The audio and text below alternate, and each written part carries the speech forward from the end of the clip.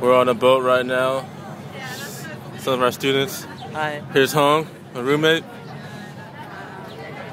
Here at the La.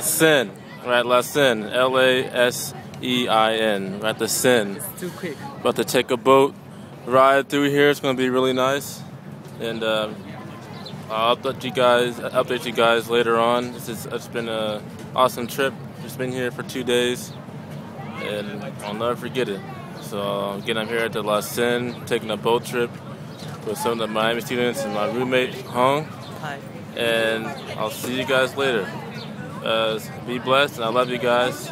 And uh, God bless you. And may God continually protect you and keep you uh, back there in the States.